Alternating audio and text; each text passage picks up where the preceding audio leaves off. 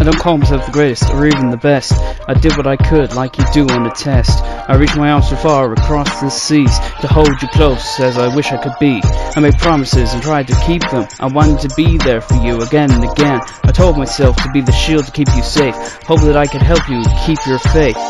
I gave my soul to share my love with you. I wore my heart on the outside, so it was true. I pray for you every day and hope you're okay. Don't ever let our bond together fade away. I hope someday we can share every hug we save. I want you to keep fighting, being strong and brave. I love you always, and I swear it's alright. I keep out the dark and bring in the light.